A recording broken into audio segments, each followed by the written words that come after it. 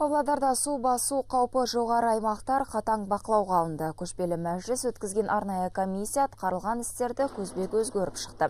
Бүгінгі таңда облыс бойынша 47 қауіпті аймақ бар анықталған.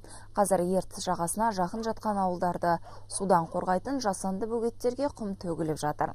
Ертіс өңірі су тасқынының алдын алу жұмыстарын биыл әдеттегіден ертерек бастап отыр. Бұған қардың жылдағыдан бірнеше есе көп түсуі себеп болған.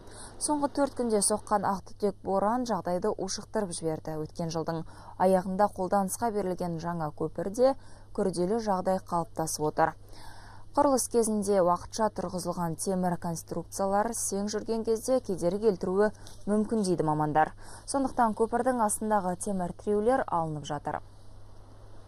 төрт күндегі соққан бораннан қазіргі уақытта елді мекендер бастарын көтеріп жан жағына қарап болған жаңағы қардың үйінділерінің барлығына мәлімет келіп түсіп жатыр қиындық туғызып жатқан жағдайлар бар дегенмен де ол жерде барлық жергілікті атқарушы орындар іс шараларда міндетті түрде қолдануда